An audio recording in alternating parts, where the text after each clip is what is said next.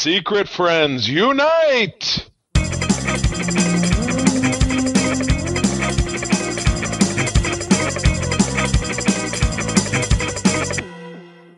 Welcome to the Secret Friends Unite podcast, episode 498. This is your guide to the geek side, and I'm one of your hosts, Todd Oxtra, ready to roll into the new election year. Wow, we ripped that band-aid off. I would have worn I got a Harris Walz shirt last uh, week. I was going to wear it, but then I thought, you know what? Why bother? Anybody watching this is they've already voted, but uh, Oh, I don't. anyway. I don't care who you vote for. I just Yeah. want people to stop saying I'm undecided because being undecided means you're a moron or you don't care.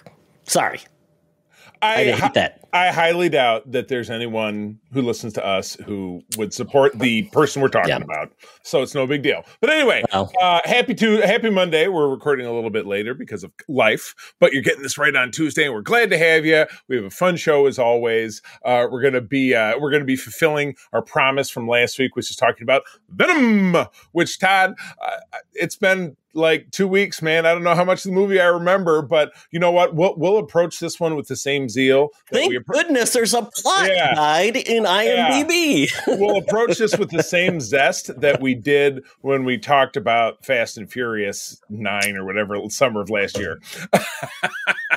Because there's about Oh, that much I, plot. I, I've wrote a thesis about Venom: The Last Dance, Charlie. I, was going to say, is your thesis feces? Fe, uh, feces? Feces, the, feces. Uh, anyway, all right, but we're going to get into that and the news and all that kind of fun stuff. But uh, first and foremost, paying homage to the wonderful folks who support us over on patreon.com slash secret friends unite, the only spot in the world for great exclusive secret friends unite content, early shows, ad-free shows, and just dropped just yesterday our exclusive interview. Oh, it's not exclusive, but it was exclusive to us. Interview with um, uh, legendary Simpson showrunner and great overall guy, Michigan guy, Al Jean. Uh, that Todd and I had just an absolutely fantastic time talking to the guy. So um, you'll get that kind of stuff first on Patreon, though we, we it's hard to sit on sit on it uh, forever. But if you want to hear it soon, you got to tune into that Patreon, which you can do for seven days for free, and then as little as two dollars a month. Two dollars a month, Todd. We did the math on a Starbucks. My pumpkin spice latte. I'm going to Starbucks again tomorrow uh, to have a meeting. Six dollars for a pumpkin spice latte. Two dollars a month to listen to uh, our great content. It's just it's a no brainer. It makes one that will make it part of the new economic plan for the United States moving forward. Two dollars a month for SFU, just like these fine folks right here. My buddy Derek Trevelyan, the figure dude, Francie, my wife's awesome hairdresser. Uh, Mr. Xbox Expansion Pass and friend of the show, Luke Lore, great contributor, and my awesome uncle Tim. Thank you all. John Sadorf, the Phoenix Sisters Entertainment, Kelly and Crayley, Brendan Meyers, Corey and HD, Matthew Kiehl, and the folks with whom, without, with not, that would be the awesome Nyhus family of the Twin Cities. Sean, Stella, and Henry, we are very grateful for all that you do for us. Again, if you're listening to this, want to find out what all the fuss is about, patreon.com slash secret friends unite. Seven days for free, $2 a month to get signed up. Why haven't you done it right now? I don't know, but look into your heart. Anyway, Todd, Journey into Mystery. This is your, your boy Thor now. This would have been a very early issue of this because Oh yes, it was the Journey into Mystery is, it wasn't that one of those comics that it had numbering and it hit 100 and then it became Thor. Like it started with Thor started with 100. So this would have been one of the last like Well- issues of this, right? and his his first appearance was in 85. 83. 83. 83. So, you know, this is only 10 issues of, of Thor, essentially. His character, Uh, right? You know, yeah. So Right. it's uh, it, it basically, yeah, that was, you know, amazing. Uh, uh, you know, there was amazing fantasy with Spider Man. There were a issue, lot of issues. yeah. I think even Iron Man was like Tales of Suspense. No, something? I feel like that one. Uh, well, this is Tales. Of, no, this is Journey and Mystery. No, um, I feel like Iron Man this because that that comic started in about 1968. I think it started with the regular number one, but like Captain. Oh, Tales of Suspense. Yeah. was Cap- number Cap- one was was his first appearance. Tail suspense number Oh, thirty nine for go. Iron Man. Number six, yeah, number thirty nine was his first appearance. So yeah, a lot of characters just showed up in existing books Right. that Marvel said, okay, Well, we'll change the name because that's what people want to read. Like Captain America's title started with issue 100. For it's probably one of the ones I got on my wall around here somewhere because I have that poster book, which I think is right behind me. Um, but anyway, uh, so we have Thor swinging his hammer with a oh, it, it looks like quite a crick in his neck. Uh, think you have troubles? Question mark. Probably.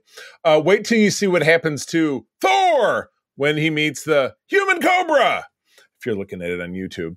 Um, even a thunder god cannot match my great power as you are about to learn. Uh, also, Tales of Asgard, Odin battles the ice giants. Well, that that's obvious. That's burying the lead right there. So, question about the human cobra, because there's a there's a cobra who is a Spider-Man villain. He's in that Serpent Society, which is going to be kind of the focus of the upcoming uh, Captain America: Brave New World movie in February. the Same- first same character? appearance of Cobra. Yeah. There you go. Gotcha. Oh, uh, first appearance, main story in flashback. Yeah. Um, he's a doctor in India that decides to experiment with cobra venom. He kills a dude, and then he basically it transfers him, gives him some abilities, and that that's where basically he decides he needs to then create more serum to create of more course. Of course. Cobra people. But really, this issue, the big part was Thor was upset because Jane Oh, Jane. was, uh, yes, Jane was uh, seeing another doctor behind uh, Thor's back, Dr. Bruce Andrews. And yeah, Thor was not Terrible. happy about that. Yeah. So um, I'm going to say Cobra's appearance is largely unchanged uh, in later appearances, except for he does not doesn't wear a fancy romper slash blouse, whatever this thing is he's wearing, and a belt. So this is really it's kind of like this. is It's kind of like a cross between a supervillain and Donna Reed. I don't know, it- just to take a stab. It's a weird, it's Yeah. a weird combo. Yeah, Yeah. it's very odd, especially when you look at the cover. I mean, he- the way he's like crawling down the building and puts his hands Right. out, it's like, rawr. it's Remember, uh, very not the- very menacing, maybe off-putting more so than menacing. And remember uh, and- uh, speaking back to Al Jean uh, from The Simpsons, the, the the the campy version of Radioactive Man and Fallout Boy, which was a la the Batman sixty six, where they faced the Scoutmaster. Yeah, the Scoutmaster. Get him, boys! dun, dun, Yeah. dun, dun, dun, dun, dun, dun. it's and it's so weird because you think about like Thor, you know, he's unstoppable and everything. Right. Like I'm taking on Cobra. I mean, it just became like it kind of seems like he gets Okay. like whoever comes along, right? Excuse me. yeah, what to do with comes along. Thor and oh, here's Yeah. a villain we created for you and is he really a match? Don't I- know. Probably Thor was just basically cocky and he he kind of took everyone for granted and then things happened. I mean, he'd bonk him with a hammer and be over. But uh, yeah, Stanley, uh, Stanley, obviously, assuming because really his style is all over it, even the cover really stretched it out to uh, make us think that it was going to be a, a, a match worthy of Thor's time. Well, regardless, what a classic from 1963. Moving right along, uh, somebody, of course, you know, I think the real writer of this book was probably our senior nor- news correspondent. She did a lot of pickup work, a lot of punch ups uh, of the work that you saw at Marvel back at that time. But I am, of course, talking about Madam Web uh, at 120, almost five years. Yeah, birthday coming up in two months. Uh, 125 years young, 124 years young. Down at the corner of Hollywood and Vine, waiting to give us the latest news with Madam Web's rumors and news. Let's go. Now it's time for Madam Web's rumors and news. Take it away, boys. Thank you, Madam Web. Madam Web, I believe you are running for office this year.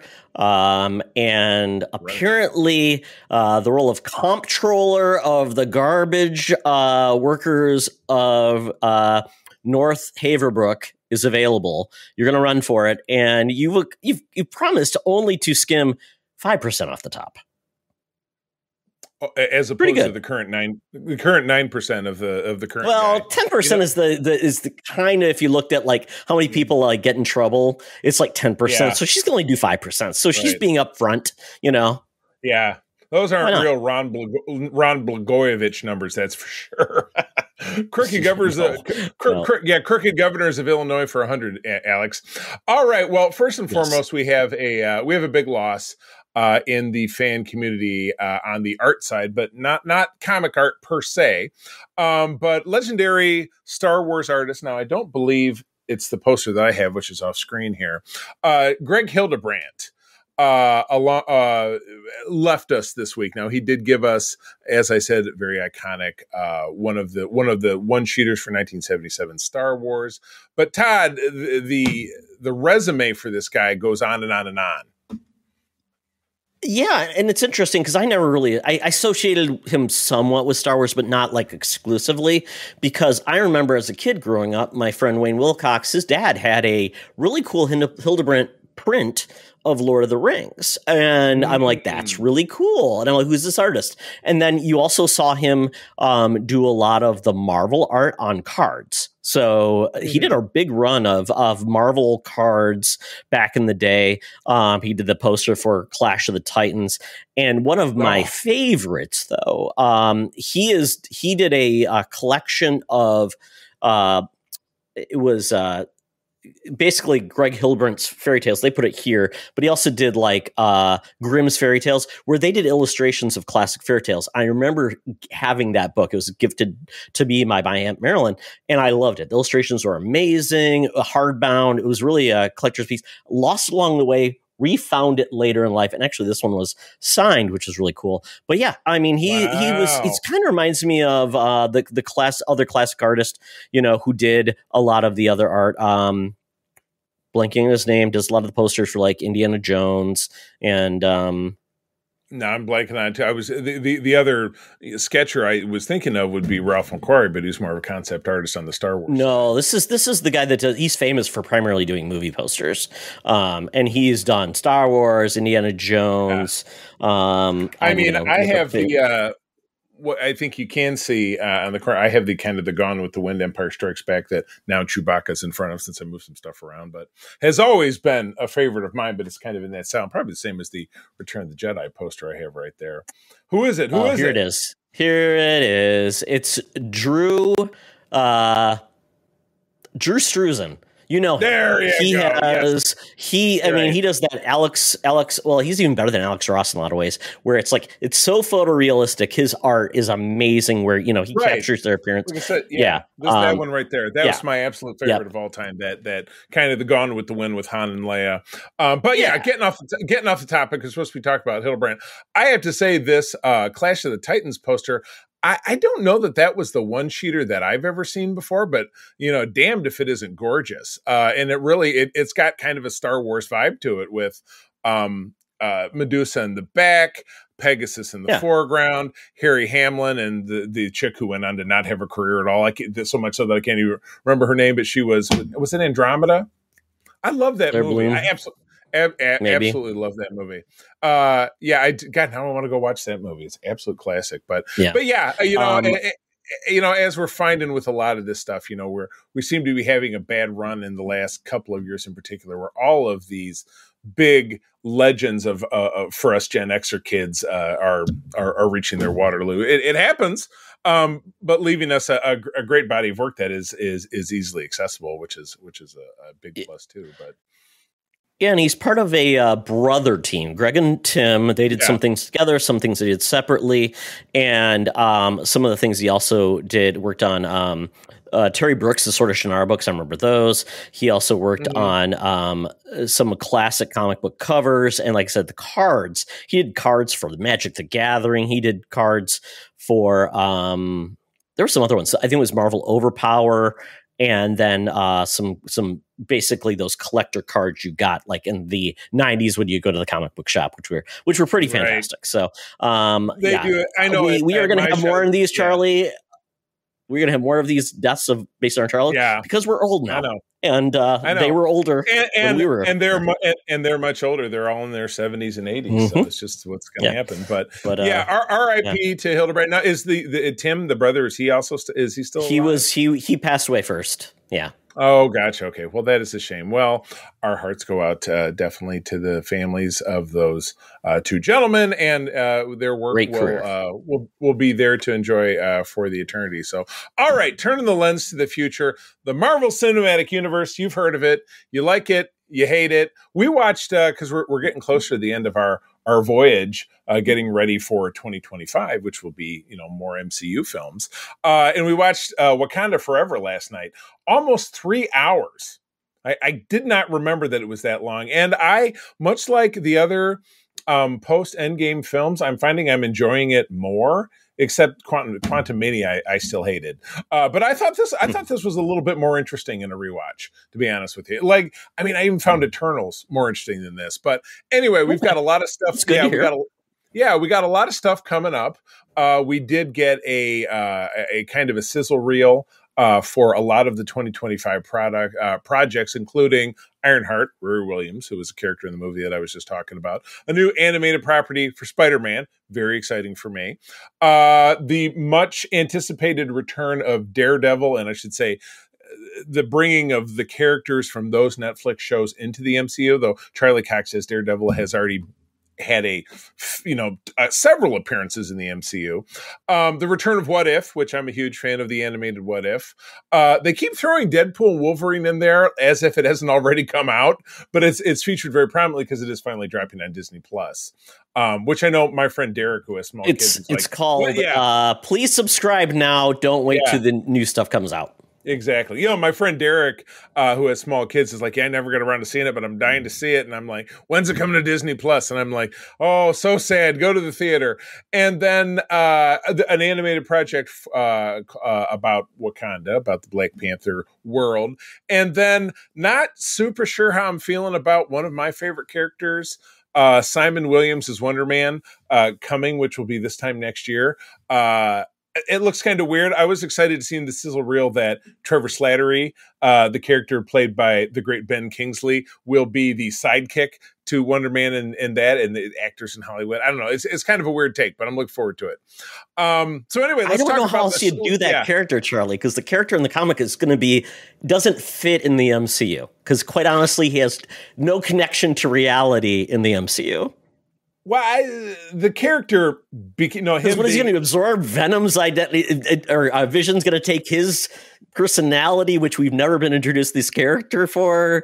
I mean, that's Right? that's a that's a part of the character, but the whole him being an actor and all this that was the latter half of. of Well, that's what character's that's what we have here. We have a character being an actor. Quite honestly, Right. it So seems like the- it fits, yeah. right?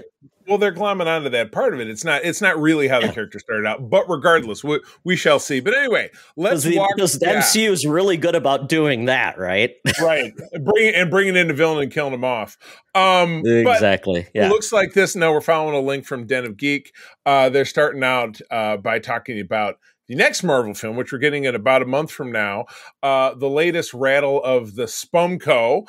Uh, in a recent episode of the Bad Trip to the Movies Patreon that April and I do, we we talked about Morbius again. Uh, still not as bad as Madam Web. Um, but Todd, what are your thoughts on Kraven? It well, just looks- this this article from Den of the Geek, we do get, Den of Geek, uh, we do get a close up of the snapshot of the Rhino for the Right. first time. I'm like, that looks Oh. that's an interesting take. So are we getting like mutant men? he I don't kinda- know. I mean, he kind of looks like the Scarecrow to be honest. It looks like a character from Wizard of Oz. I, it, it does kind of give me a Oh, Scarecrow. vibe. really? I, I, I Uh, he's know. giving, if anything, he's giving me a li- cowardly lion vibe. I don't know oh, the okay. Ah, yeah, yeah. Maybe, maybe you, squ- Okay. you, you squish the two of them together in like Play-Doh. It's gray. yeah, I Um, don't know who's playing him, but I mean, this movie's R rated, which is odd, very violent. So once Yeah. again, I don't know how this one fits in. I mean, this movie will probably be kind of status quo with the rest of the Sony live action films, which are going to be dumb action films. Yeah, big time. I mean, I, I don't know that uh, I do like the main character. I mean, I do like the the fact of Kraven being a hunter. He's Yeah. Russian. It's kind of goofy. It kind of fits Right. this anyways. Um, Yeah, and Spider Man not being this, I don't know if I mean the I mean the last Spider Man game that came out, Kraven was a part of it, and he was hunting heroes, essentially Yeah. people in the Spider Universe. So sure, uh, not having Spider Man kind of sucks, but I, I I at this point I'm like. It's kind of too late, isn't it? They couldn't really put him in. It would be weird. How do you how do you plug yeah, how do you plug Spider-Man into Yeah. this type of universe? It doesn't work. I'm Yeah. glad he's not involved with this stuff, Charlie. No, Let's be because, honest. because the films are terrible, and you wouldn't want to stick Exactly. Tom- Exactly. want to stick Tom Holland in there and get that stink on him. I don't think so. Obviously, you know, you and I will probably see this. I mean, the only genre film I've avoided in recent years was Joker 2. Um, we, we mostly see everything else, you and I, and we end up talking about it. You know what I mean? Or was there something else we skipped in this last year that we were like, no, we just we just can't even. I can't remember. I don't know. I mean, I probably would have seen Joker. It just wasn't. Uh, it just so much of stuff was happening. I didn't see it. But Yeah. I mean, it's coming to Max. I'll see it then. I suppose so. Um, yeah. I mean, we saw Madam Web and we had a lot of fun talking about that. But anyway, that is out on December 13th. But just in time for Christmas will be the third season of What If uh, over on Disney Plus. This was actually teased almost immediately as season two ended. 12 months prior. So that uh, they did the 12 days of Christmas with that one, which I saw people bitching about it after that. Like, oh, that was a terrible way to release it because people just didn't know. It's streaming. It doesn't matter. If somebody watches episode one, they're going to watch the whole thing if they like it because it just If plays. you think it's weekly, guess what? When you show up, it'll be the rest will be out. You're right. However many weeks it takes you to What? watch it. How does this happen? I'm so upset that Yeah. they're all there now. I know it's terrible. Um, I don't know. we, um, yeah, we, we Is got this? Yeah, I don't know how they're releasing it this time. yeah. Shang Chi is going to be involved, Yeah. and then we're also going to get uh Oscar Isaac is the Moon Knight, which is cool. uh, for Moon Knight. Yeah, Yeah. so we'll see. And Maury Matthew Chauncey replaces AC Bradley as head writer with Bryan Andrews directing. I mean, I don't know if this is supposed to all come together. I guess it will, but will it just I be mean, a fun could. take? yeah, I mean, it's it's what if, so nothing Yeah. sticks. And if they Yeah. find something they like, they can pull it in if they want, and don't be surprised if it happens. Exactly correct. Um, so anyway, then we get into 2025, and I had mentioned, a, a new animated program uh, around Spider-Man, Your Friendly Neighborhood Spider-Man, at the end of January, originally titled Spider-Man Freshman Year. So you've heard us talk about it in the past. Spidey is being voiced by Hudson Thames or Thames, if you prefer, uh, who is not someone that I am familiar with. But uh, Charlie Cox and Vincent D'Onofrio will join as Daredevil and the Kingpin, respectively, alongside with Colman Domingo as Norman Osborn. Awesome. I love Colman Domingo. He's from Fear the Walking Dead. Uh, and Hugh Dancy, which sounds very familiar to me, as Otto Octavius. Uh, produced and written by Jeff Trammell, the series will use the flashy animation style similar to the Spider Verse films, which is a good take because people clearly like that. It really resonated with See. I didn't get that vibe. I got a very flat, not Yeah. like the alter weird styles. I got a very flat style, which is which is fine. It, it's Well, yeah. it's iconic. It looks different. Some- stands out. something to be surprised about. So, so yeah, so I'm excited. Um, I've wanted, you know, something weekly about Spider-Man to kind of dig my teeth into for a very long time. Obviously, we have Spider Noir coming up with Nick Cage on uh, Amazon Prime, which if it's out a year from now, I would be surprised. Um, so now we have this, and we've known about the. It takes Yeah, about I- it takes about two years for really anything to be produced, and that's okay. based on based on uh, X Men '97, if it hits that level of quality and good writing, I'm Yeah. in. Um, although that had a lot of nostalgia with it, this one will be interesting. But I've liked a lot of the Spider-Man Yeah. I agree. All right, moving uh, forward into February. Now, I'm hearing some not great things about feedback about this film, so I definitely kind of have my sphincter Is clenched. there on early this one. screenings or something? There was a screening about a month ago, and maybe you know what? Really? Maybe it was It's fake. early. Maybe it Hmm. was fake news. I don't know, Hmm. but it was just basically a focus group screening that people were kind of trashing it. But the new Captain America film, uh, starring, uh, continuing the Falcon and the Winter Soldier series, which I loved, but Todd was kind of lukewarm on, and I don't hear anybody else talking about how much they loved it. So I guess I'm in the minority, which is okay. Um, our new uh, new villain is played by the indomitable Giancarlo Esposito as Sidewinder, who led, as I mentioned a little bit earlier, the uh, Serpent Society, which was a classic uh, supervillain band in the 1980s on in the Cap title under Mark Gruenwald, the late Mark Gruenwald, who's one of my favorite. Was Cobra Uh, part of that team? Uh, yes, he was, as I mentioned. uh, Oh my we were talking about him goodness. Earlier. Yes, There we go. absolutely. It all There- comes together. There is the connection. So, um, yeah, Tim Blake Nelson uh, reprising his role as the leader all the way back to 2008's Ed Norton Hulk, which is so weird. Uh, and uh, Shira Haas as the Israeli superhero and mutant Sabra, which I know there's been some controversy around that as well. But um, She's Jewish. she's Jewish. My goodness. Um, so anyway, I, and of course, Harrison Ford as the Red Hulk. Come on, how bad could it possibly be? Uh, it probably should have asked that cow. Uh, th- the movie originally wrapped in June 2023. Oh my That's god! interesting. right. Yeah, and was supposed to be come out in July 2024. That's a that's a long time to That's have been wrapped. Well, I mean, it's the the strike, and who knows what how they had to go and I, I- well, the strike was. it was mean, so- so- it was it wrapped uh, before the strike. Oh, I don't know. It could, but yeah, that's could, a yeah. I, there, you know, post credits. I don't know. Yeah, I mean it's there must be a reason. All right, I've been doing all the talking. Take it away. Talk to me about Daredevil. okay. Daredevil Born Again. Uh, we've seen. Uh, I'm glad we are finally getting a, a, a showing of this because they showed scenes of this at Comic Con, I believe. And uh, Yeah. people are talking about how much they loved us. Essentially, the team's back together, and we are getting a new villain called what is his name? Uh, I didn't look. it's ahead. not in here. Um, Whoops. but yeah, um, but apparently this is the interesting part. Um, we are also getting Mohan Kapoor will appear as Kamal Khan's father as one of Matt's clients. Oh, interesting. Uh, Okay. Wilson Bethel returns as Dex Point Dexter Poindexter Dex Point Dexter, uh, now in full bullseye garb, and Nikki M. James as fellow lawyer Kristen McDuffie, and Kamar de los Reyes as vigilante White Tiger. That's all kind of new stuff I didn't know about. But yeah, there was going to be a new villain that is a fairly new addition to Daredevil's entourage. He's a serial killer.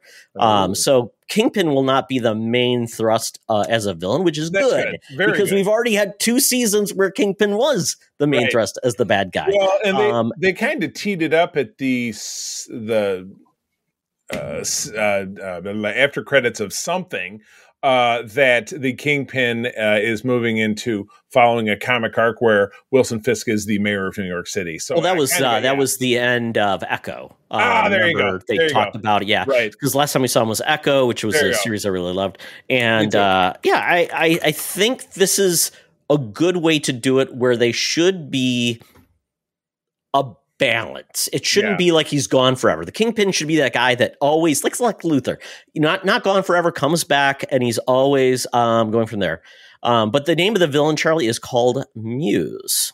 So there you go. That that that, uh, that alt rock band that you like, Muse. Yep, yeah. Uh, Thunderbolts with an asterisk is next in May 2025. Kicking Um, at this summer. point, we haven't seen anything new about this. So, based on the trailer, it seems like people are more excited about it because they know what to expect.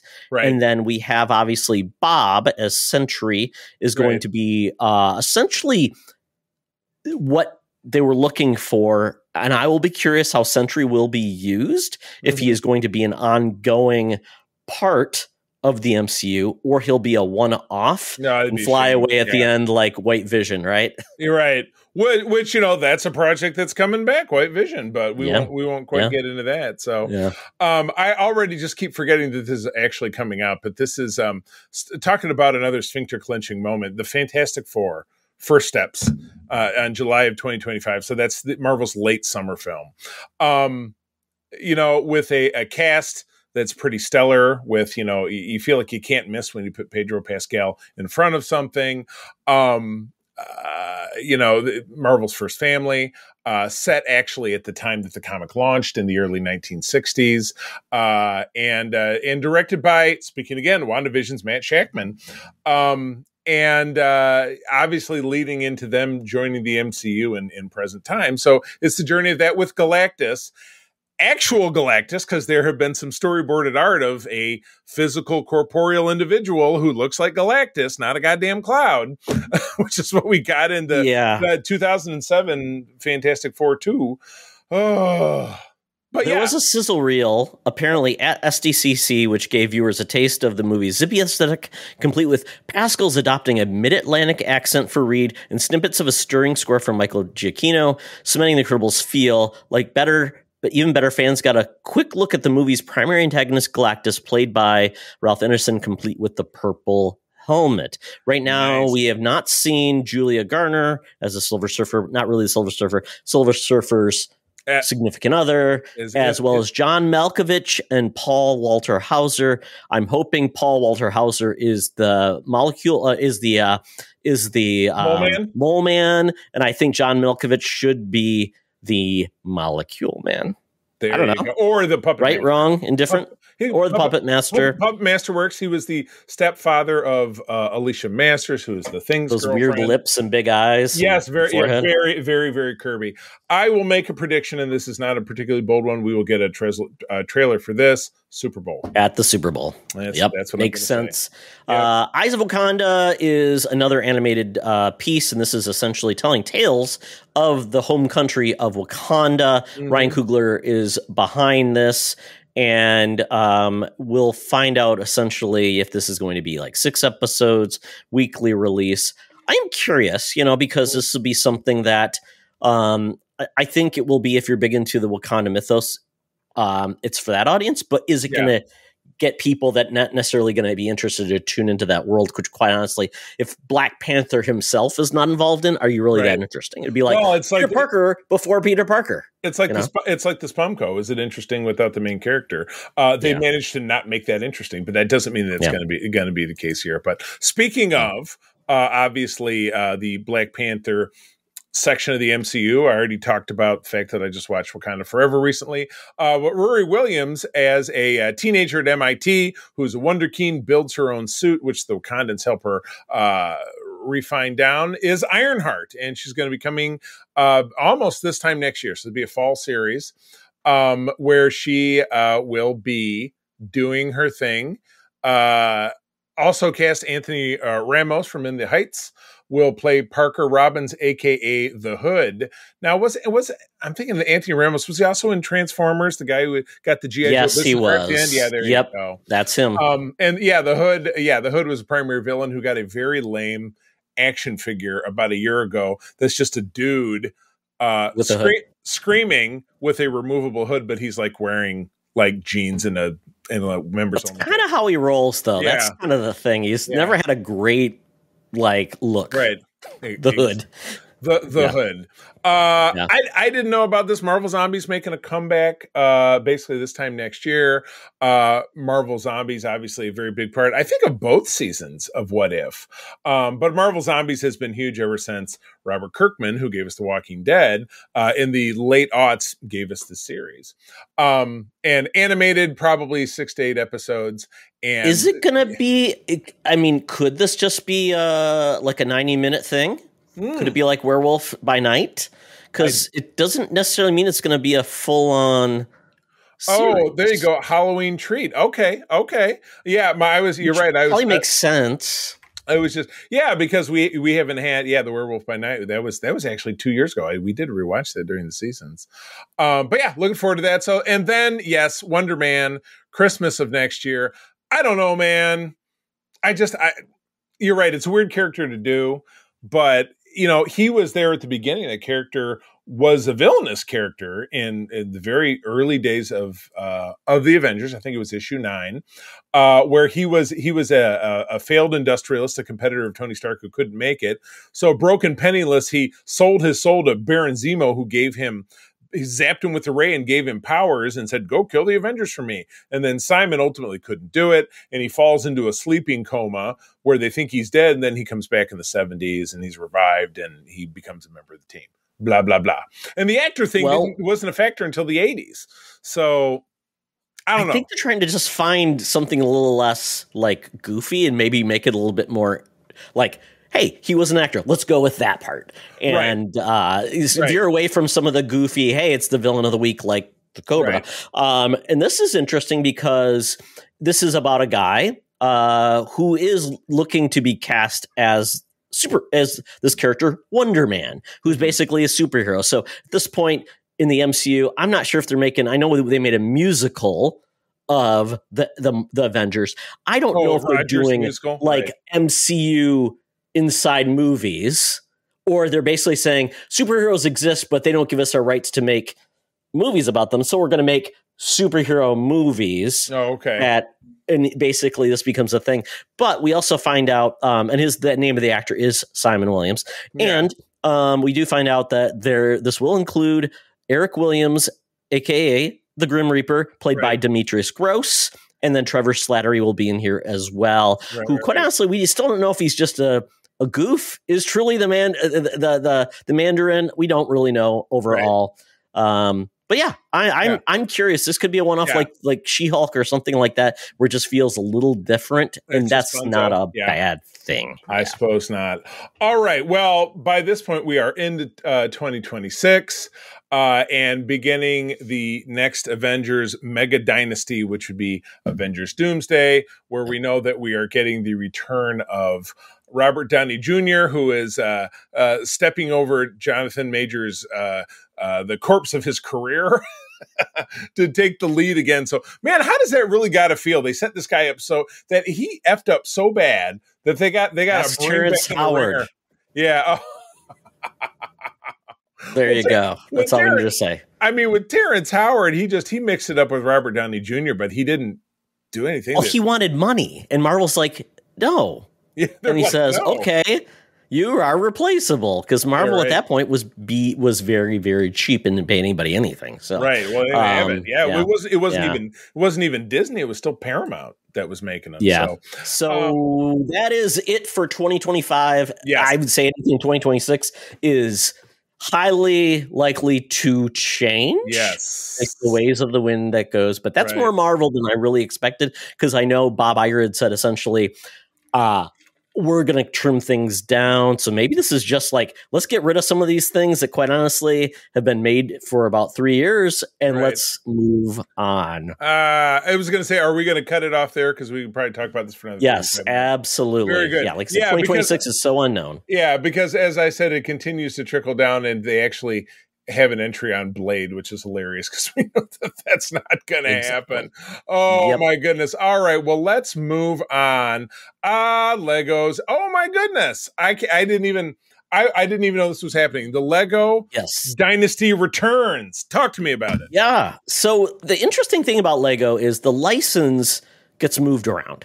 Um, previously, Warner Brothers owned it, made all the games and everything like that. Now, Lego is going fast and loose. They've got Lego Fortnite. Uh, we do have the Lego uh, Sony game coming out, uh, Horizon Zero Dawn. There's been Lego racing games, and now uh, I believe the Warner Brothers license has now been uh, absorbed by Universal. So now Lego films are going to be made at Universal, They actually and basically that they're- deal. They're going to have the stop motion where they have the little guy filming the okay, move him, move his leg, move his. Yes, do it the that's exactly how it's going to go. Yeah, in, yeah. in the in Yep. the water tower with uh, with the Yep. Animaniacs. Yeah, I like it. Yes, I'm yes. it. So that deal ended in 2020 with Warner Brothers. So this new deal is interesting. So we're, apparently we're getting three creators who are very good. Joe Cornish, who did Attack the Block, Jake Kasdan, who did Jumanji, Welcome to the Jungle, and The Next Level, which those movies are fun. They're not exactly like, you know, blockbusters. And then Patty Jenkins, uh, Wonder Woman. Basically, Woman- they're Wonder all going to be involved. Um,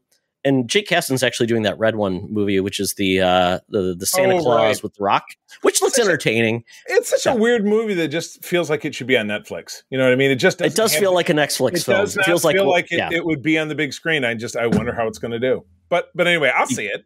I'll see I'm it. guessing well because holiday movies like that I feel like will attract audience. I'll see it Yeah. too. It looks Yeah. dumb fun. Yeah. So at this point, uh, we also getting so the way this is going to work out that um, we're going to get a script by Andrew Mogel and Jared Paul that's based on an original idea. Good idea. Jenkins' film will be released based on a script she co-wrote with with Geoff Johns, and Okay. Cornish will be writing a script by Heather Ann Campbell from a treatment by Sam, Simon Rich. Lots of bricks in motion, of course. And at this point, we do have uh, Lego Jurassic Park uh, themed video games. Obviously, have happened before Universal. There's uh, Wicked. Uh, maybe we get a version of Wicked uh, coming from Lego. Who knows? Uh, but other than that, I, I don't know what this could be. I mean, Universal properties are, uh, you know, what the Fast and the Furious is one of those. Um, Pretty much. What what else are they making these days? I don't know. That's a good question because let's see. What do they have? Jurassic Park. Uh, they we're get- don't we're have the Harry Potter because that's Warner Brothers. Right, we're getting another Um, one of those. Where um, where is uh, I'm drawing a blank. I don't even know what I was thinking of. Um, they don't have Mission Impossible is Paramount, so that's yeah, that's not that. Uh, they have. I'm just looking through their list of movies. So they have. Oh God, some of these are just bad. Uh, Trolls. They have the Trolls property. Um, they have um, looking through Fast and Furious. Yes, of go. course. Okay. Mhm. They have Candyman, which I don't think they're going to make that. The Addams Family animated uh, films. Okay. Um, House of Gucci. I don't think they're going to do that. The Sing films. Uh, ah, the Bad Guys, which was that animated film about the bad guys, which was cute. Um, Black Phone. Don't think they're doing that. The No, the- Minions. oh, oh, that's the- right. well, Minions. hold on. Black uh, Phone just started production of its sequel. Like today, it was in the headline. So I don't think they're doing a. Lego movie on that. Oh, you're talking. Okay, the adaptability. Yeah. Uh, Oh, the- the black Lego oh, phone. Shrek is that DreamWorks? That's like Shrek films. Um, the Is Minions. Is that Universal now? Is that where uh, yeah, DreamWorks ended yeah. up? I mean, DreamWorks is Universal. Yeah, at their Okay. parks. I'm looking. I'm keeping looking here. Um, Puss in Boots. Yeah, that's one. Um, Megan, not gonna happen. Oh, the Super Mario Brothers movie. Uh, yeah, I mean that Oh. could happen. Um, keep going here, Charlie. Uh, I- Oppenheimer not doing that. Oh Uh, man, Le- Lego, Lego, Lego nuclear bomb. Five Nights at. Freddy. I mean, sure, why Oh, not? Now we're talking. Uh, I just- Panda. I would just I mean, maybe. I would just love to know if we're ever going to get another game by Traveller's Tales that's Lego because you know it's the only games that I enjoy. But oh well. Uh, I mean, not. they do have the they do have the um, Horizon Zero Dawn game coming out. Uh, that's Lego, oh, which okay. is um, it's. But I don't know if you're going to see any more DC Lego games, just because what's Oh. once again uh, they're kind of not associated with Warner Brothers anymore. But we don't know. No more association. Well, very interesting. We will uh we will see the Lego dynasty as it evolves. All right. So, Todd, scary movie came out in 2000 and 2002, 2004. Like it's it's a project, a product of the the early aughts. I think basically. tw- I th- I saw it with my dad. It was one of the last movies I saw with my dad. So if I saw it with my dad, it would have been probably before I went into the Air Force active Oh, duty. so in So ni- been in the 90s. 98. Gotcha. Yeah. Okay. Um, Yeah. I don't know when the first one was launched. Um, that one was a surprise hit. I mean, the Wayans brothers I know being it, behind. oh, it sa- says right here that the original did come out in the year 2000. 2000. So- okay, so Right. I must have been. And then there from, was a, uh, a, from- a second and then a, a third uh, in 01, and then I assume the third would have been a couple years after that. So Okay. always com- coming Yeah. out at the same time of year. Um, So, but it's been over 20 years, and it was uh, just a, a straight send up, in particular of slasher, the, the rebirth of the slasher films from the late 90s, because your main character ish was the ghost face guy from Scream, um, lampooned with Anna all the Faris first debut, unknown Yep. cast in that movie. It was great. I think, uh, and what was that by the Zucker brothers? Like the, the guys who did Airplane and stuff. Was that The first two films were by the Wayans. Oh, right. Okay, so I'm thinking of something else. Yeah. Yeah, the and then it got way. moved along. It was from uh and who was actually it was behind the films? Would it have been oh, it was Miramax. Oh right. boy, the never, Harvey, never- our boy Harvey, yeah.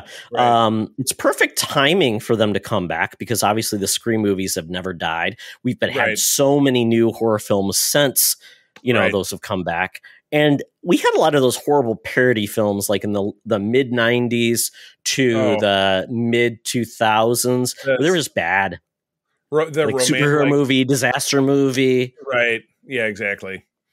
Um. So yeah, uh, I was gonna say it. You know, there's always a market for that comedy horror, that very lampooning uh comedy horror as well. You know, there's unintentionally horrible movies like oh they go into mention talking about like you know movies by M Night Shyamalan and so on and so forth. Um, but yeah, so this is this is something that's starting to roll. Is that we're seeing like some movement on this? Uh, yeah, and the and the Wayans brothers are back, and which is you know hopefully they've got some good ideas. I mean, the Wayans brothers have a after in Living Color, their their track record has always been a little spotty. that, that, that, that, Um, yeah, that that really was their you know peaked in high school kind of moment for the Wayans brothers. I hate to say it, but yeah, no, there have been five, five or six of these movies. Five, yeah, yeah, yeah. yeah, parts three through five, the Wayans were not part, so they were they were around for the first two. Regina Yeah. Hall and Anna Faris were Right. the, the stars of the first one. Right. Yeah, I mean, Right. who could forget Ghostface uh, smoking a bong? I mean, Oh my god, yeah, with uh Smokey, who was the dad, who was Marlon Wayans' character. Was it Marlon Wayans' character? yeah, I think it was Marlon Wayne's. Wayans, Sean Marlon. Uh, You know Yeah, what? know. They didn't get. Um, they didn't get. Um, who who's the other brother? I think is the most talented of, the, of them Ke- all. Well, Keenen was No, no, no, no. The the other one who was in the last Boy Scout. Um, Oh, Damon. I, Damon. I there think- you go. I think Damon's the most talented of them all, Oh, and they didn't get him to be in it. Yeah, and well, and then his son, uh, Damon Wayans Jr. was in. Was it uh, New Girl? Wasn't that his Yeah, son? he's been a lot of stuff. He's very Yeah. good. Yeah, yeah. So yeah, he's he got the talented gene. So this would be fun. I mean, yeah, if the Wayans are involved, it, it has a chance uh, of winning it back. So so we, we will find out. All right. Well, let's wrap this up.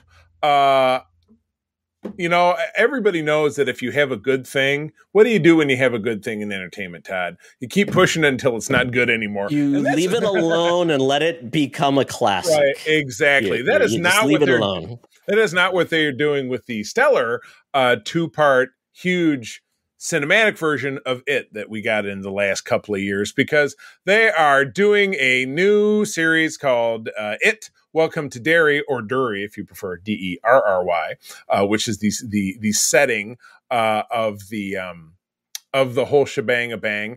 Uh, so what's go- what's going on? This this is an HBO Max series, not a movie, which is good. Mhm. I, I can sit and watch something on Max and uh, not feeling like that. So uh, this is going to be Todd. What's your favorite type of storytelling conveyance? Starts with a P. Whoa! Yes. So Gotta this, love it. Yes. this is going to be Well, I mean, the whole the whole premise of it is a history of right. repeat occurrences, right, right? So, yeah so that actually makes sense because yeah the, and you know the big exposition dump that happened in uh the first film with the kids in the past in the 1980s was oh we're you know go to library and go through the stacks and all these convenient newspaper clippings. And you see you know eight kids killed in a uh, lumber collapse and then in the background you see Skarsgård's face. You know what I mean? So it's like he was he always comes back every 27 years.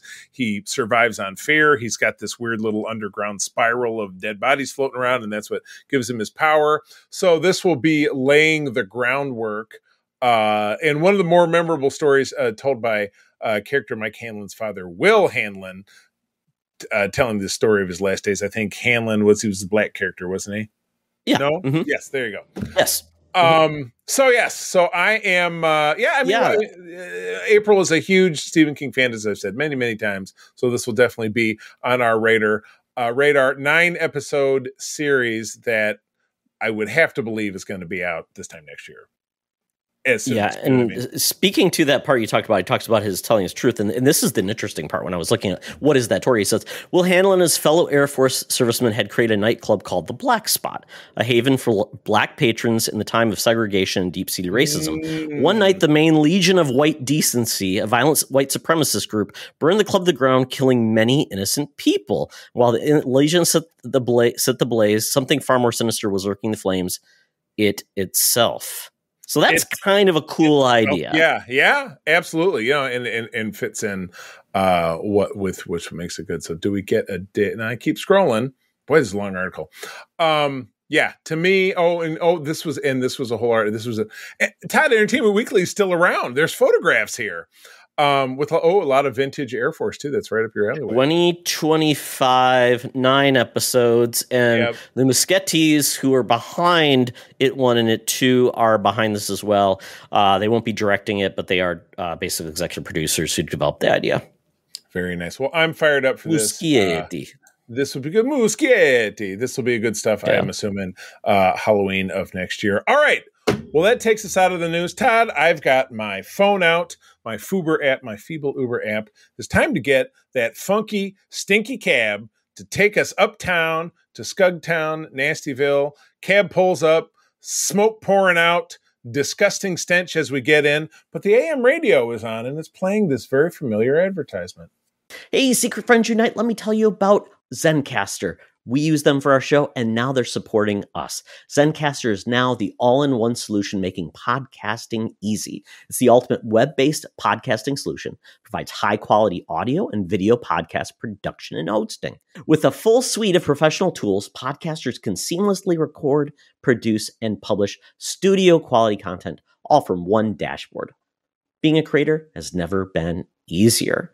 And we chose Zencastr because of the ease of use, uh, high quality output, and we it makes it super easy for our guest to come on. Uh, we had multiple solutions we tried before, and Zencastr has just been the best fit for us. Why Zencastr? It's now super easy to record a podcast with Zencastr.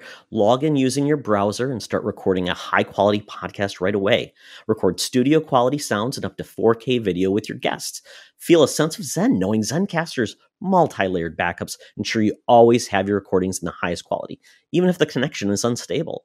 Have you ever worried what you sound like? Zencastr's post production process makes you sound buttery smooth. It automatically removes those ums and ahs in your recording.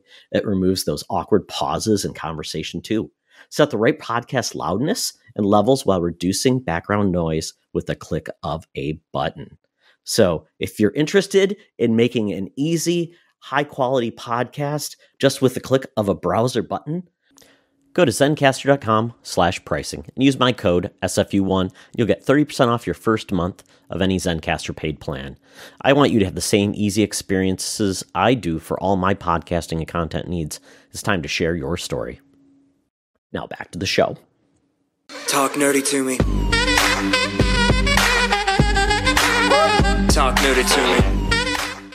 We're sitting in the Geek Easy cover bands playing, drinks are poured, and we are ready to get our nerd on. So, um, quite honestly, with Halloween, a lot of the stuff I was catching up on was I was watching. I'm I think I'm on episode five of of um, Hysteria, which I'm enjoying quite a bit. Yes, Uh, yeah. Yep, I'm not finished. Obviously, I'm like, how long is this? It's like eight episodes, so I've got five more to, or three more to do. Yep. So I'll be working on that. I, I was also um, watching some more of the Penguin, which is really, really good. Gotta get around to Um, that. I think we're only on the second yep. one, so I think we're waiting at this. So, point. so it was the wife's choice of what to watch on Halloween. So we were watching some other things, and we we finished up WandaVision, of course, but we're going to talk about that next week. you mean so- A- A- this is Agatha? This is the second time you called it WandaVision. it's called WandaVision Agatha Part Two. WandaVision Yeah. Part Two. Well, One I kind of feel like it's the one one universe at this point. It's a, Um, a, a yeah. little a little pocket. It's a pocket. Exactly, exactly. Um, they said Wanda's name quite a few times. Um, but that brings me to the wife got the choice of what to watch. She likes a little bit more uh, whim- whimsy in the fare of uh, certain things. So we watched Descendants: Rise of Red. Charlie, are you aware of the Descendants franchise on Disney?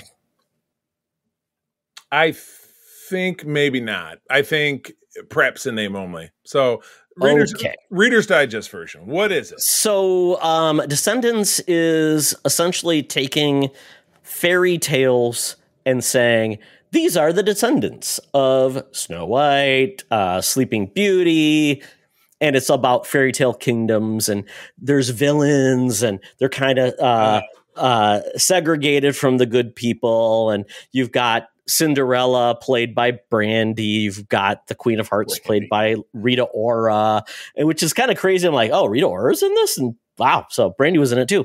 So because Brandy actually did play Cinderella in a Disney movie back in the day, so she came back to be a part of this. So it's a, Okay. ser- it's also become so it's become like a big phenomenon. There's three movies. This is actually the fourth movie. There's an animated series. So basically, it's big with the tweens. Uh, it's also musicals. So think of like High School Musical with like fantasy settings, things like this.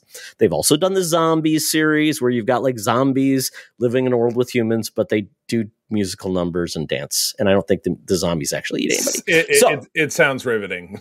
yes, yes. So so this movie is essentially a spin-off where you've got the Queen of Hearts daughter, Red, who they live in Wonderland, of course, and they're have not they've chose not to come in part of the fold and join the rest of the the magic kingdoms and um but they decide to uh well how's this work? So the one girl who has the one woman who has now been in charge of everything went on a sabbatical. So they brought in ursula's granddaughter to run who was a former villain to run the high school.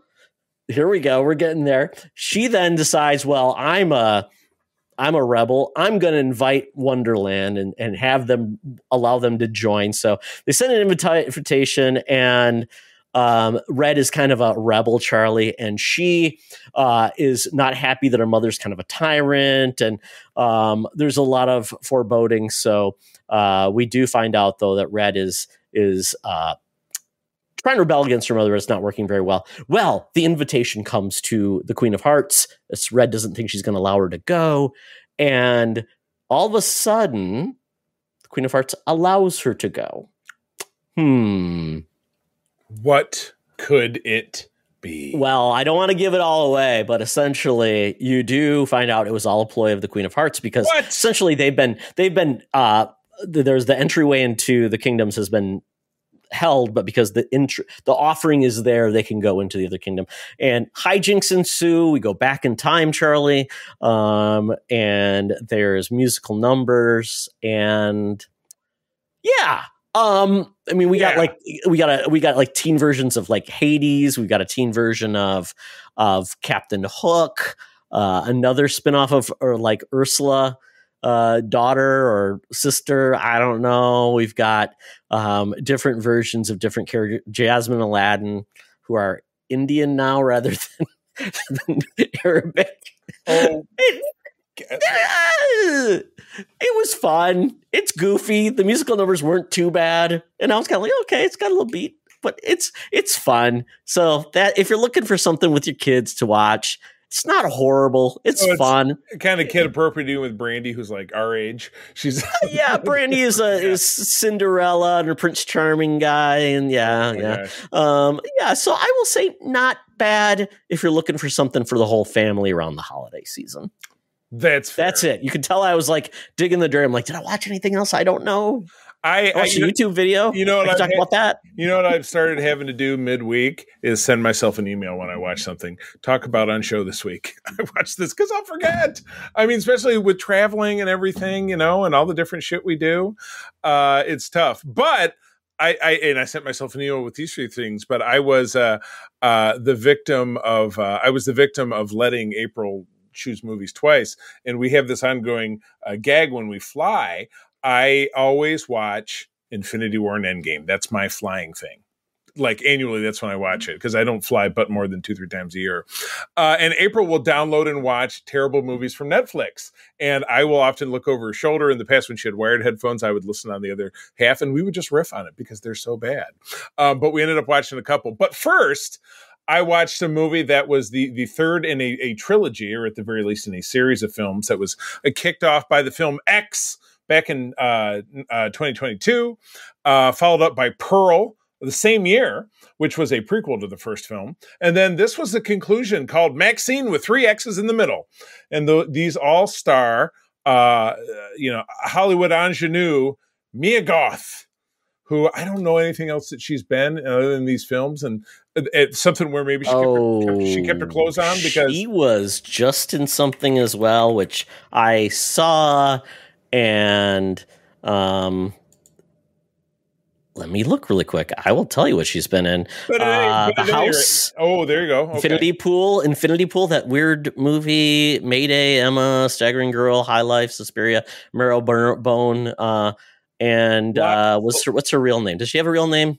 Her name is Mia. Mia Goth. Gypsy Mello de Sylvia Goth, Charlie. She has We'll stick with Mia Goth uh, because it's go. something you can actually say.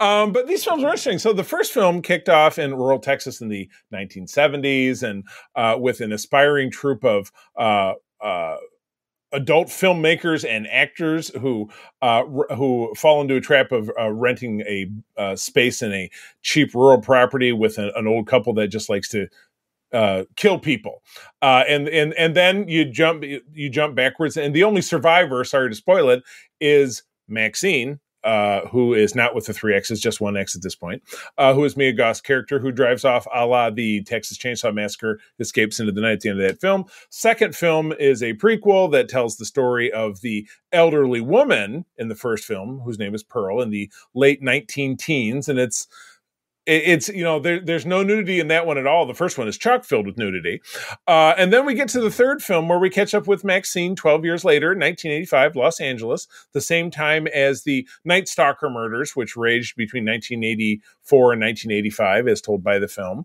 Um, and there's stalking going on in Maxine's world and trying to figure out if, uh, with her fellow friends in the adult film actress uh, you know, uh, you know, go-go dancing club world.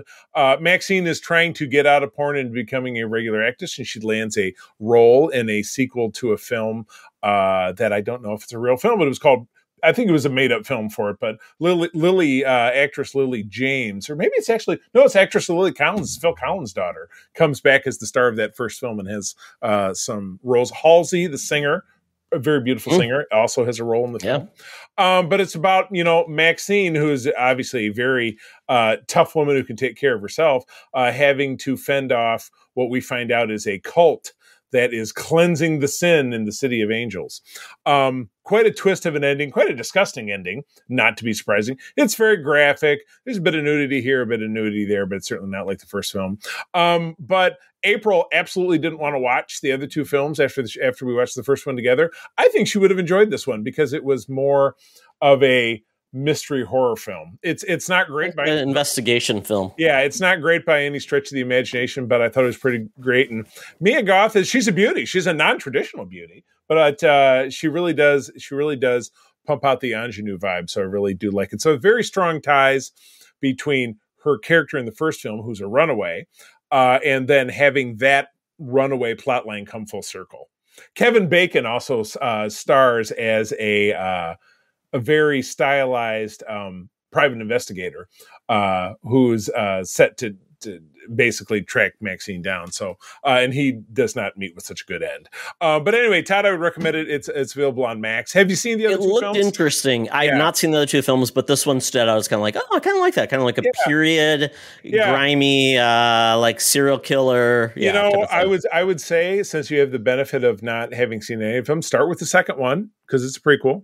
Watch watch the first one second, and then watch this, and you'll be good. You'll be Is that the? Is that the? Is that the? Uh, what is it called? The, the what's it called? Order? yes, that's the machete order of the of the Maxine universe. Maxine universe. okay. Um, so Good anyway, April and I racked out a couple of very silly kind of quasi genre uh, Netflix movies, and damned if I'm not going to end up screwing up what the hell these two were about. Oh, I'm sorry, the second one really wasn't. The first one was. It was about a woman played by I'm going to draw a blank on the actress's name, but she is a character in Yellowstone. Todd, Yellowstone comes back next week. I already pre-ordered the second half of season five because we You pre-ordered it. yeah, you can pre-order it on um Fandango. That's how we got the series four because You- on, it's on Paramount Network. It's the only way I can watch it. Oh, really? Yeah, Oh. that's the only way. So, uh, but anyway, she played a character on that show. That's Don't they eventually go to Peacock? eventually? They're they're about two seasons Ah, okay. behind. Yeah, they don't have them all. Oh, Yeah, they're at least a year behind. Um, but uh, so it's this uh, it, that actress whose name I'm drawing a blank on uh, has lost her young child. She's contemplating suicide. She's standing on the edge of a cliff in a natural in, in a in a you know a nat- yeah, national park somewhere in California, where actor Finn Wittrock walks up. The future Green, he's still Green Lantern, right? He's going to be a Green Lantern. And Finn that upcoming Wittrock? show. Yeah, from uh was he from your uh he was from the American Horror Story. You know who he is. But anyway, he I he barely recognize him. he, he walks up, talks her down off the ledge. Um, but then it really quickly turns out that he's a serial killer. He injects her with a drug that infects infects uh, complete paralysis, throws her in a car, and drives her off to his lair. Um, and that's when the story really begins. Um, so yeah, uh, kind of a predictable, as you would imagine, uh, kind of storyline, filmed entirely in Canada. But hey, that looks like the that looks like the Sierra Nevada mountains. They can get away with that. From filming it in Alberta, you know, it's a lot cheaper. Um, so yeah, so that was Netflix movie number one, and the second movie, uh, based on a true story. Uh, I think written and or directed and starring Anna Kendrick, which is the Woman of the Hour. Todd, you probably heard about this one. I have heard about this film. This Yes. has to do with a uh, one of the uh, you know dating game kind of shows in the 1970s. uh, where one of the male contestants was an honest to God serial killer. Um, and through the course of this, they were able to uh, they were able to, to, to nab the guy. That is really how it ends. Um, but this it's it's told about a few different women. Anna Kendrick uh, is the main character who is is not the ultimate victim, uh, which you know that she's not because it's a true story. But um, the guy they found to play this serial killer guy is oh, he's creepy as shit. They really they nailed that part of it. So this is probably one of the better Isn't Netflix. that yeah. like uh, horrible stereotyping? That- a, a- a- Creepy serial killers. a- Come a- a on, creepy- They're not all bad. a creepy, slightly overweight, unshaven uh, guy with long hair is a ser- serial killer. Ah, it just happened to work out this way. Um, but that that one I actually would recommend uh, because I, I thought it was really well, well made. And after we finished watching it, April uh, turned and looked this up. The uh, Anna Kendricks took her fee uh, for making and starring in this and donated it to charity because she just didn't feel right about keeping it um, because of the nature of the story, which I thought, uh, which I think is amazing. Good for her. Do something pretty good. cool. Yeah, Yeah, that's that's pretty good. cool that it happens. I mean, you think of everybody you meet and the old catchphrase, "They were such a nice man." He seemed totally. Isn't that what you used to tell me about your the, your neighbor in your old neighborhood? Who's like my other neighbor, Jeffrey Dahmer. Never see him. Uh, yeah, we could talk about old man Witherspoon who uh, has uh, wood on his windows and only opens his door that far Yeah. when he gives away Halloween candy. What do you want? yeah, right. Uh, bloop, bloop. Oh my goodness. So anyway, no, excuse me. So yes, that is the week in in Netflix movies, but we are done at the Geek Easy Todd. Time to get ourselves out of here, skipping out on that bill yet again. But I've got my Air Qantas app out. Time to get us to the land down under where hologram Tina and the mutants await us for our final proclamation of the much ballyhooed Venom, The Last Dance. Let's do it. Welcome to another edition of Thunderdome! Thank you, Tina. The mutants have been gathered for a topic or a game to be entertained. And this week we are talking about Venom The Last Dance. Um, this is a spoiler filled uh, reaction to this Film. third in the final trilogy of Right. the Venom universe. Uh, Tom Hardy will now go on and make uh, a sequel to uh, the Cobra character we just talked about. Um, the premise of this film Eddie and Venom on the run face pursuit from both worlds as circumstances tighten. They're compelled to make a heart wrenching choice that could mark the end of their symbolic, symbolic partnership. Directed by Kelly Marcel, also written by Kelly Marcel and Tom Hardy. Apparently, Oh, they are God. production partners. Oh my goodness. Um, yeah, this film released uh, two weeks ago. Uh, budget 120 has made 317 million dollars. These movies are highly successful. So you People ask like why 'em. they keep making them because people keep going, especially overseas. Very, very big overseas. really? um, okay. Yeah, so uh, Tom Hardy returns. Chiwetel Ejiofor comes in as a uh, military dude. Juno Tempo Temple playing Tempo, Dr. Tempo. Teddy Paine. Uh, Rhys Ifans, uh, as you know, as The the Lizard. Lizard, from the Yes. Amazing Spider-Man, uh, not playing that character, playing a hippie named Martin. Mm-hmm. Stephen Graham playing Detective Mulligan, who you're probably like, hey, is that guy somebody? No, No, not I- really. Looks I like Marky Mark. I think Or uh, both he and uh, uh, Ch- uh, Chiwetel Ejiofor, they were in the previous films, right? Sure. I- yeah, the detective was, for sure. I detective was for sure. I 100% have no recollection of that film because it was so bad while we were watching it. The one with with Woody as, as Uh, with Woody, yeah, Yeah. yeah, A lot of things happened in that film, and yeah, it, it's you know they you know it, it was happened. Peggy Lu, she's back. Uh, Miss Oh, Chen. Chen, Uh, Clark Backo as Sadie, who I think was a scientist. Alana Ubach as uh, Martin's wife, named Nova. Mhm. And then, other than that, you got a lot of people. Oh, and last one, Andy Serkis, who is the director of the second film, is portraying the character that you probably really know who it's him as Right. Null. Right. So there we go. That is the premise of the film, um, and I'll talk about some of the uh, lines of this movie at the end, and also a little bit of trivia and where this is going next. So, Charlie, uh, this movie opens up exactly where the last one finished at their um, end credit, where uh, Eddie was in the Marvel Cinematic Universe Right, through a 616. wormhole right. this one lasts about two seconds, gets pulled back into his bar Well, it with was uh, Danny Danny uh, Rojas. it was and, bartender. and it was the first part of it was recycled footage from the end of uh, Spider-Man: No Way Home. That was the Yeah. stinger in that film. So that was not Oh, that was the stinger. Okay, correct. I Yep, totally forgot. Yep, yep, I just knew there was a stinger. Yep. No, that was it. And of course, he when he gets yanked out of there, he leaves a little glob of the symbiote. They're like, "Oh, it's going to find Peter Parker." It's a start your engines kind of moment. Um, and uh, yeah, ba- then he's uh, dropped back in his own universe where it's the same bartender who instead of short hair he has long hair. So, oh my god! But I think it's wearing the same clothes. Um, and then Sure. yeah, uh, and so Venom now. So yes, in the other universe, whatever it is, Null, who I swear to God.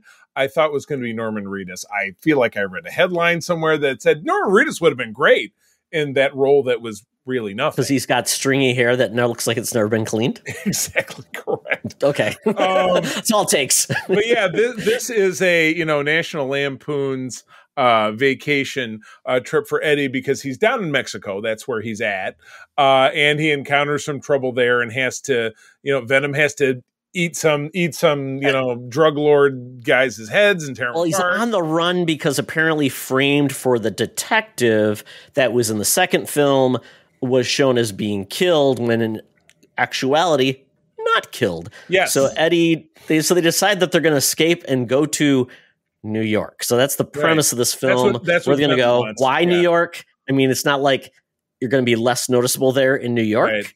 Not go to Montana, Charlie? I yeah, and with the Yellowstone people, exactly. Exactly. Be- Yeah. be lot- But yes, his, his uh, and then there's a whole subplot where uh, the fame in in Nevada. So because we do, we end up with Vegas as the the actual cityscape setting that we have in Nevada. Uh, the famous Area 51, home of aliens, Air Force Base, whatever it is, is being decommissioned. And uh, but of course, on just like with you know Shield or GI Joe, or whatever, there's an underground uh, facility where it's a big science lab, and your head scientist, and this was the the part of it that made zero sense. Your head scientist is uh, played by Juno Temple, who is of course from uh, Ted Lasso. That's how I know her. But Mhm. she lives out in the desert, and she's yeah. She's had, you know, somebody's having a dream. She's imagining herself as a child walking arm in arm with her brother who gets struck by lightning Lightning. and then because they're holding hands her arm is scarred and all of the muscles are destroyed so she just has like a uh she doesn't have like a limpy arm or what she just has an arm that doesn't No, work her left arm that- doesn't work Well, I thought she used it even. I thought I saw her use it. Maybe I'm wrong. I don't know. I'm like, didn't seem like a big deal. but it you know I, I don't know. you know but it's it's and again it comes but later in the film we'll talk about how her getting struck by lightning comes back later in the film as a as a Oh, device. yeah, yeah. Because Yes. I was wondering about where that plot line was going to come back. But I mean, when I saw her, I'm like, okay, well, this chick has an arm that doesn't work. She's going to get a symbiote, and then she'll be fine. Um, not that I'm saying this. um, oh, what- yeah, sorry, that's what happened. I'm sorry to jump Yeah, in. But anyway, exactly. yeah. But at, at Yeah, Area I'll- 51, that that detective who's also been glommed onto by a symbiote on and off, it's keeping him alive, explains. I believe it's him that explains that Venom, when he and this was this was such a fuzzy area, when Venom completely envelops uh, Eddie's body, and not just a little bit. And Venom goes through this whole sequence where he explains it to to Eddie because Venom is aware of it. When he fully venoms out, he emits the signal from something called the Codex, which is stolen from Superman, um, where Null can sense Was it. the across- codex yeah. just like a? Isn't the codex like just really just a like a um? It's just like a a, a guide to language I guess. codex. Like you'd have like, oh, this means A and this means B, and yeah, Sure, why not? Uh, but at any rate, uh, Null needs to get his hands on this because he's a, Null is able to open interdimensional portals and send over. He just has a, a, a field of monsters that he can send, and they're indestructible. xenophages. There you go. They're indestructible, so they're gonna they're gonna find Eddie, but they can only find him like if he's venomed out and then Venom retracts. They can sense it it, like uh, the predator which is dumb because why would Venom ever then fully ever come out exactly, he and then come out the like- other he like 99% like his one like maybe leave one finger and then he could it's just it was It, it's it's ridiculous. We get a lot of exposition because we get you know we get the exposition about Area Fifty One about Hall. you know Ed, like Venom wasn't the only symbiote that was was that was captured. So they they captured all of them except for Venom. Obviously, Carnage got out, but um uh the other part was we get a lot of exposition by Venom who talks about how Null is the offspring or the child or the ven- the symbiotes are the children of Null along with the xenophages and they captured Null um and they escaped but he's Yeah. stuck there he's he's imprisoned but he controls them. It's just i just like i said but it- he makes those why can't he get out with one of those portals? Uh, I, because he's sitting in the chair. Maybe he's chained to the chair. Is maybe he chained to the chair? No, the codex is like a skeleton key and or maybe it's like a wristband. Ah, okay he needs to be like like at disney He's like one of those people you hear about, like they, they those people like their their ass has grown into the toilet oh seat. right yeah my, my thousand pound life or whatever yeah someone who, Yeah. someone who's been, been Sorry, on, been on a couch for 20 years and they're they're a part Yeah. of it It's- They're- part of the couch. Yeah, exactly so so we do get you know eddie going through the desert and he's got a he he fights this team of like you know the the, the navy seals and uh and, there's a sequence in the river um and he escapes there but then he becomes a fish. he becomes a fish and then not too long after that we get the well we do see him he's up on an airplane for a while but because he's, he's hitching a ride uh, and that's when he gets forced to the ground and that's when the black helicopters show up or whatever it is and then he gets out of the the fish part and then he finds a horse and so you get the famous scene that you get from the trailer where he's on a he he he venomifies that horse But I don't understand how Eddie is taking down like without Venom. How is he taking out like paramilitary troops? Uh, he's a goofus. He is not in good shape. Yeah. he's like He is- stumbling around, he is such but he's taking Yeah, he is such Yeah. a dum dum, which is not really what the character in the comics was. and like. he's supposed to be a investigator, an Uh, investigative reporter. Yeah, Yeah, uh, it- it's just very odd. Yeah, so they they they do stumble through excellence. The xenophage comes in, takes out all of the troops. They escape. right. They they're Eddie's walking around with no shoes. Um, I guess people don't bother him, and Why- that's where he runs into why can't Venom? the hippie him, family. Why can't Venom give him shoes? That's all I'm saying. Yeah, so he meets his hippie family with Rhys, Rhys Ifans, and there's a uh, always rolling their eyes teenage daughter. There's the hippie mom, and then there's of course the uh, precocious preteen child who just thinks Eddie is great, and he rides with them for a while, and they sing, and they said, you know, oh, we're going to Area 51 because Dad's always wanted to see an alien, blah blah blah. So we spend 15 minutes. And that I'm just like, all Yes. you're doing is setting them up so that this family can later find themselves in danger and Eddie's going to have to sacrifice himself something. It's a that very never happens. It was very- an original idea, Charlie. Take that was- back. It was a very, very thin setup that has been done. I wouldn't even say it's been done better because it can't be done better because it's terrible. Um, but yes, by this point, now how does do they finally capture Eddie and the no, they get to Area 51. I'm trying to remember. Not, well, so so they end up going to Vegas. So that's the thing. The family drops them off in Vegas. Eddie, there's some hijinks where uh, Eddie gets to dress up, so he ends up taking out a guy peeing, puts on a suit, right. and there's a funny scene where Venom wants to gamble. All of a sudden, he's got twenty bucks. That's it. He wants to gamble, and he fun. goes through the the dollar slots really quick. Yeah, then kicks the the um thing. And guess who they run into, Charlie? At Vegas. Who do they the run into? The only other uh, character with any kind of connective tissue to the other films, Mrs. Chen, who is the, who ran the bodega back in San Francisco, where he's from, and she's like, "Come hang out with me. I have the super suite or whatever." And they're hanging out. They're they do what do they dance? Dancing Queen. Is it Dancing Queen? I'm with? guessing it was. Is there like a, I got to find out the soundtrack here because Yeah. there was a lot of songs in this movie. right. Where's the soundtrack? But Where's the soundtrack? But in, Yeah. in in doing this, it's it, I think it's I think that the microphages catch up with catch up with him, and also the the the the army catches up with him. Well, because Venom wants to dance, and Right. as he fully d- goes to Venom, he turns into the Codex, Right. comes in. Yeah. They the the, Yeah. the xenophage comes in to attack them, and that's when the troops come in. They steal that. They separate Venom and Eddie, and then take them back to Area, Area 51. 51. Right. And the xenophages Yeah. just obviously run off.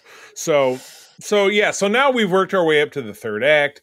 There's going to be a big showdown because you know, even though they have Eddie incarcerated and they have the detective guy incarcerated Detective, yeah, and they have who's all been talking to Yeah. them. Like the, Yeah. his his symbiote has come out yeah. and talked to them and tells them like the night has teeth and things like that. oh my god. And all the other symbiotes uh, are in little glass vials scattered around this room. different colors, different Yep. varieties. It's like it's like um It's the your color. It's like the Power Rangers, color of the You're rainbow, Doctor. Your no, United, yeah. yeah. United Benetton of of uh, symbiotes, exactly. So, so anyway, obviously, push comes to shove. The xenophobe, the, z- I'm going to call them the xenophobes. Xenophobes. The xenophobes. Oh boy, they hate each other. They like a all Trump- the It's aliens. going to sound like Yeah. a Trump rally. Sorry. Uh, they, yeah, they show up and it turns into battle royale. All the little symbiotes get freed up.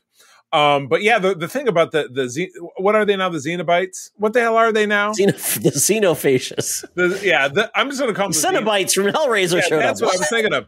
It the, Yeah. the Xenos, they show up. What's gross about them is when they bite somebody, they bite them, and then Oh. out of their It's back, like- it's just, it's just, they, it just all the chunder comes It's out. it's like a it's like a um a Wood chipper. tree um Wood chipper. wood chipper. Yeah, it's like through the back. I'm like Yeah, that's interesting. I know. And apparently the sim the the, the um the uh, symbiotes can be absorbed or up, yeah. destroyed, So which uh, we haven't yeah. seen before. your first your first victim is the detective guy he's out he gets eaten up um the other symbiotes get freed and some will just jump onto like the security guard or some random guy none of them are making it um but the only survivors uh at this point uh juno temple with her with her arm that works grabs one of the vials and puts it in her pocket so they're obviously they're saving that but her assistant grabs one and it's per isn't it Christmas? purple? What was her name? Like something? Christmas?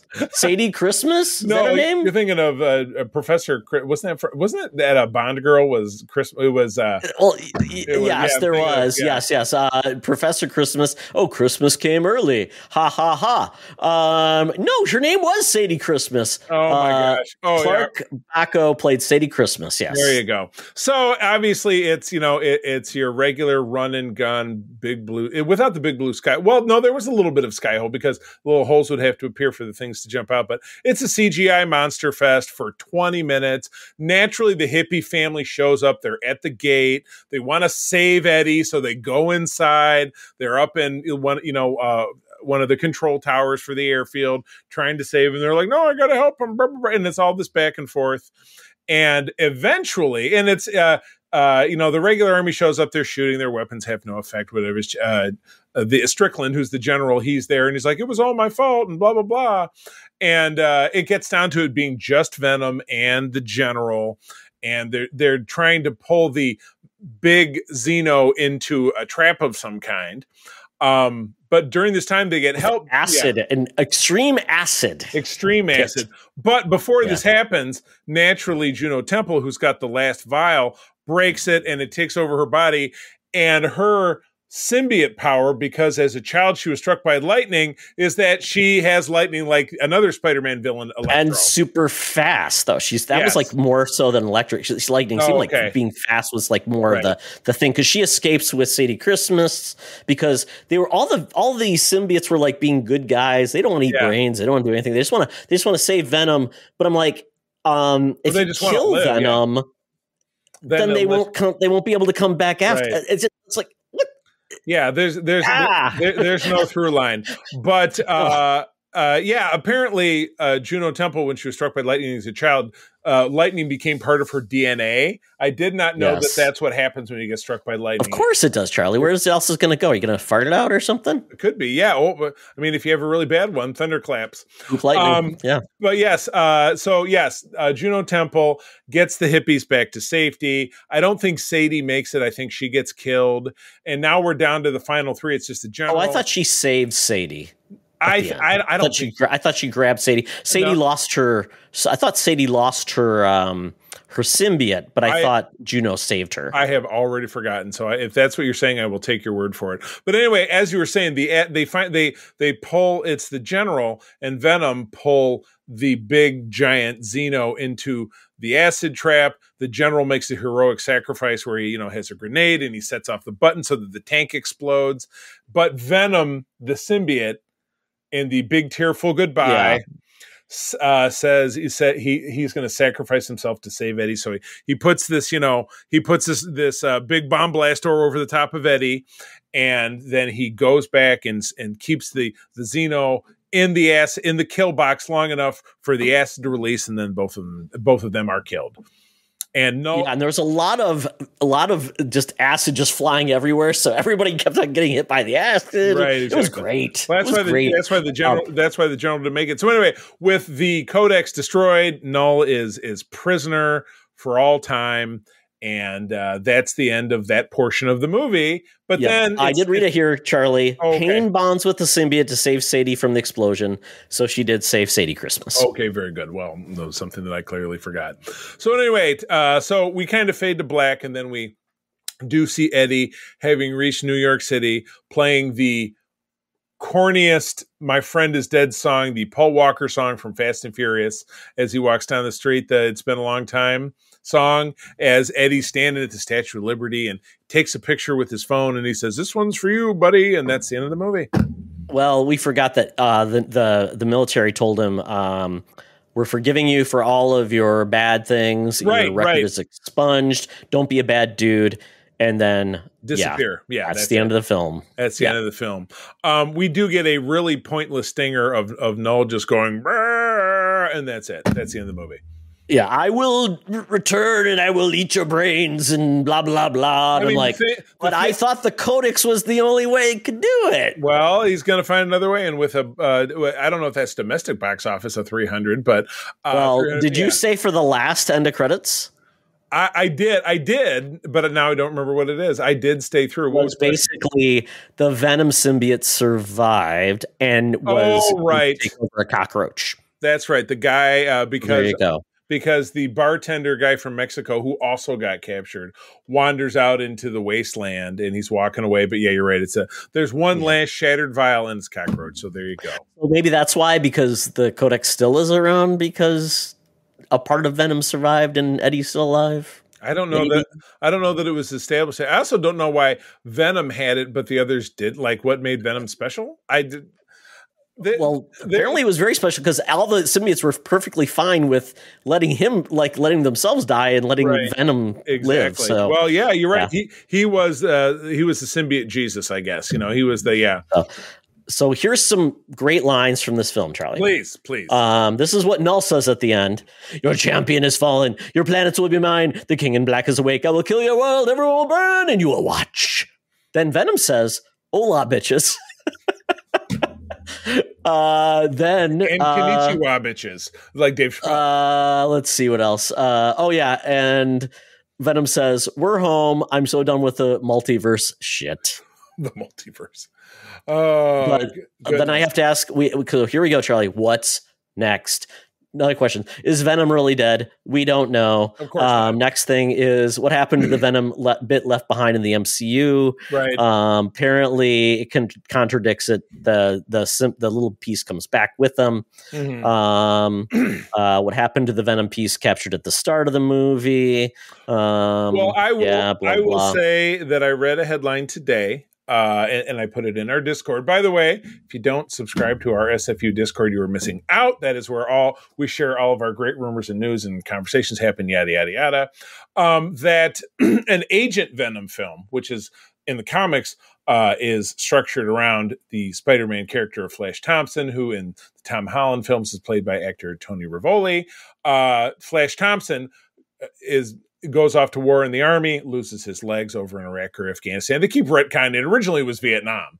Uh, that's how long ago it was, but they keep retconning it.